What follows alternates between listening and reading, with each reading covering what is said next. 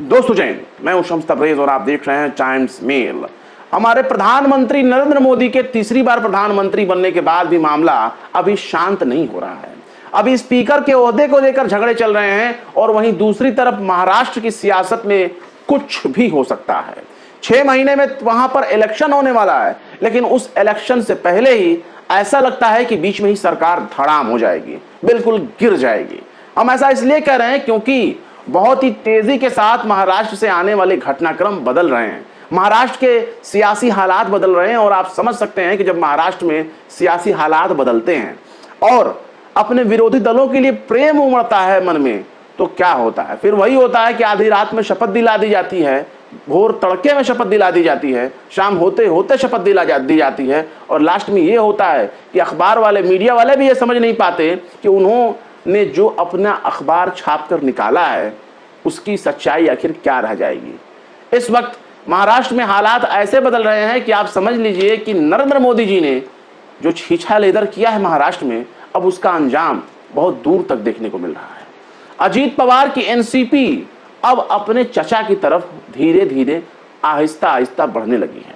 वो अपने चचा शरद पवार के साथ अब धीरे धीरे अपनी नजदीकियाँ बढ़ाने लगे हैं और इसी का नतीजा है कि अब अजित पवार ने अपने चचा शरद पवार की दिल से तारीफ़ की है, खुलकर तारीफ़ की है अपने चचा की।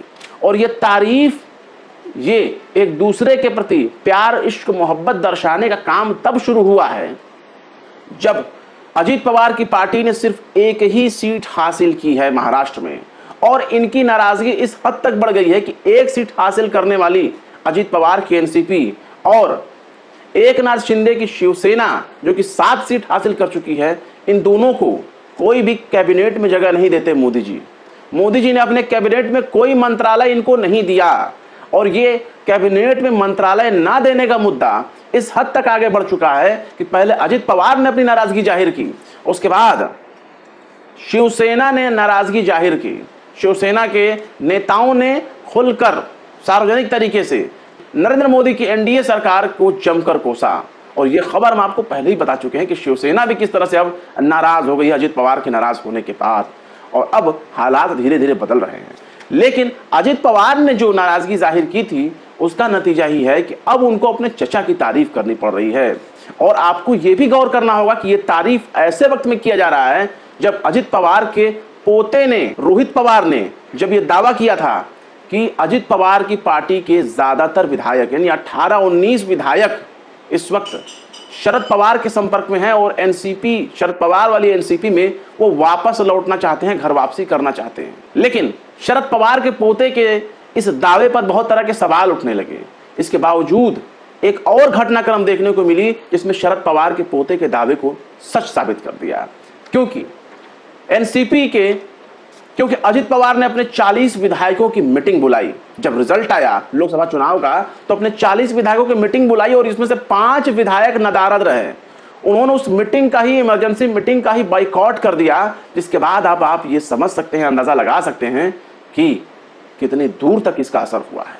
पाँच विधायकों का ना आने का मतलब ही है कि वो पाँच विधायक बागी हो चुके हैं और बाकी और मौके का इंतज़ार कर रहे हैं और शरद पवार के साथ वो मिल सकते हैं।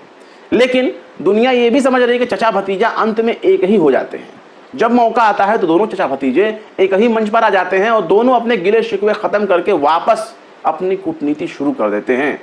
और माना तो यह भी आता है कि चचा भतीजे के बीच में कोई ना गलत फहमी है, ना कोई विरोध है।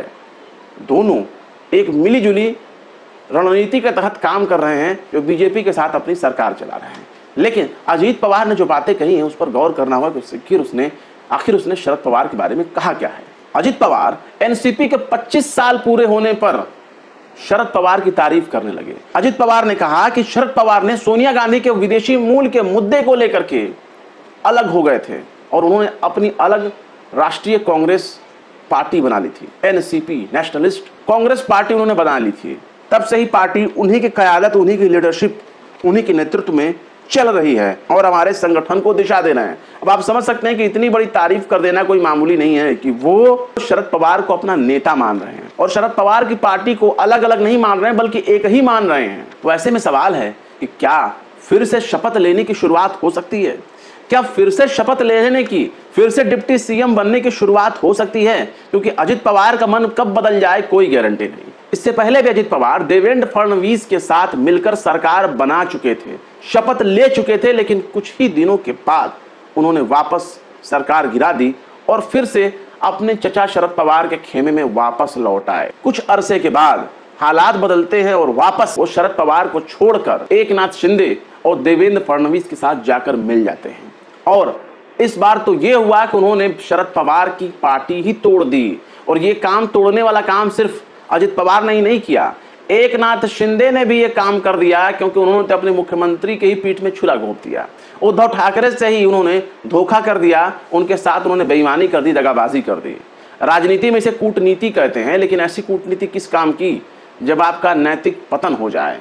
उन्होंने उद्धव ठाकरे की सरकार को गिरा दिया, खुद मुख्यमंत्री बन गए, पार्टी को दो फाड़ दे दिया। पार्टी के दो अलग अलग पहचान हो गए। लेकिन इसका कोई फ़ायदा नरेंद्र मोदी जी के ऊपर नहीं पड़ा। उन्होंने इनका समर्थन भी ले लिया। केंद्र में दोबारा अपनी सरकार भी बना ली, एनडीए की सरकार बना ली। एनडीए के घटक दलों को वो इज़्ज़त नहीं मिली जिसका वो हकदार थे या जिसके लिए वो उम्मीद करके बैठे थे। नरेंद्र मोदी ने जो जो बड़े बड़े पद हैं, वापस अपने लोगों को दे दिया है, बीजेपी के नेताओं को दे दिया है। लेकिन सबसे मज़ेदार बात यह है कि जिस उम्मीद में बैठे थे, अजित पवार जिस उम्मीद बैठे थे एक नाथ शिंदे, उनके लिए वो उम्मीद काम नहीं आई। उनकी वो उम्मीद धाराशायी हो गई। उनकी वो उम्मीद बेकार हो गई।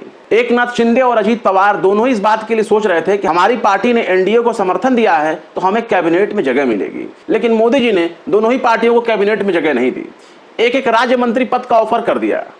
प्रफुल्ल पटेल, जो कि एनसीपी, शरद पवार खेमे के हैं, वो पहले से ही राज्यसभा सांसद हैं। वो पहले ही कैबिनेट मंत्री रह चुके हैं केंद्र सरकार में। लेकिन अब उनको राज्य मंत्री स्वतंत्र प्रभार दिया जा रहा है, जिसके वजह से वो अपनी बेजती समझ रहे हैं और सोच रहे हैं कि हमें आखिर इतना छोटा अहदा क्यों दिया जा रहा है? कैबिनेट मंत्रालय तो दिया जाना चाहिए था। यही हाल एक नाथ शिंदे की शिवसेना के साथ हो रहा है। शिवसेना ने यह सोच कर रखा था कि वो तो सात सीटें लोकसभा चुनाव में निकाल करके लेकर के आई है। शिवसेना के नेता मीडिया में आकर मोदी जी से वो कह रहे हैं कि हम तो सात सीट निकाल करके आए थे, हमारे तो सात सांसदों ने आपको समर्थन दिया था तो फिर हमें कम से कम एक कैबिनेट मंत्रालय तो दे दिए होते। वो चिराग पासवान से अपनी बराबरी कर रहे हैं। कह रहे हैं, वो तो पाँच सीट निकाल करके आए हम तो सात निकाले हैं। चिराग पासवान को आपने कैबिनेट मंत्री बना दिया। वो जीतन राम मांझी को कह रहे हैं कि साहब, वो तो सिर्फ़ एक ही पद निकाल करके आए लेकिन उनको आपने कैबिनेट मंत्री बना दिया। जनता दल सेकुलर कर्नाटक वाली एच डी कुमार स्वामी जिसके नेता हैं, उन्होंने तो सिर्फ़ दो सीट निकाली थी। उनको कैबिनेट मंत्रालय में जगह मिल गई। लेकिन शिवसेना और एनसीपी को जगह नहीं मिली। आखिर इसके लिए किसे दोष दिया जाए?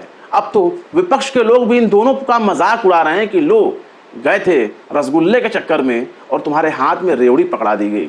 वो भी ऐसी रेवड़ी जिसमें सबकी भरपाई भी नहीं हो सकती। फ़िलहाल यही अंदाज़ा लगाया जा रहा है कि नाराज़गी धीरे धीरे बढ़ती जाएगी और नाराज़गी जब धीरे धीरे बढ़ती जाएगी तो वापस कहीं पीछे की तरफ़ लौटने की शुरुआत ना हो जाए।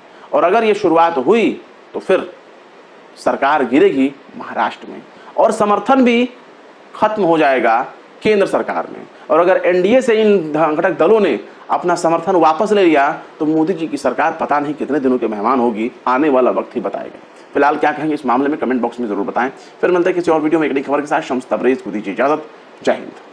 तो देख लिया आपने हमारे इस वीडियो को। हमें उम्मीद है कि आपने हमारे वीडियो को लाइक किया होगा और दूसरों को भी शेयर किया होगा। अगर अभी तक आपने हमारे चैनल टाइम्स मेल को सब्सक्राइब नहीं किया है तो जल्दी से सब्सक्राइब कर दें और बेल आइकन भी प्रेस कर दें।